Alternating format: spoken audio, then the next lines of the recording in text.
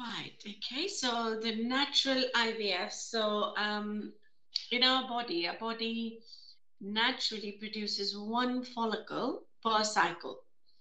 And in a natural IVF, the aim is to actually just culture the cultivate that follicle, nurture that follicle. That body is already selected as a natural process. Um, we follow the growth of that follicle, and follicle reaches a certain size, and we hope that there is going to be an egg which is going to be mature.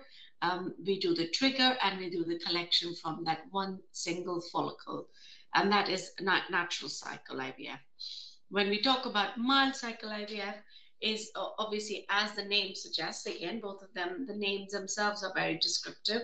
Uh, that we will be giving some sort of mild stimulation, so less than the normal conventional stimulation that we use to um, to grow or cultivate the follicles. This will be a milder dose.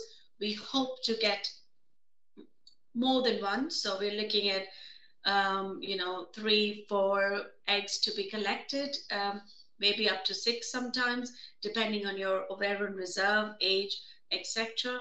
Um, and then um, we cultivate these follicles and then retrieve the eggs from these follicles.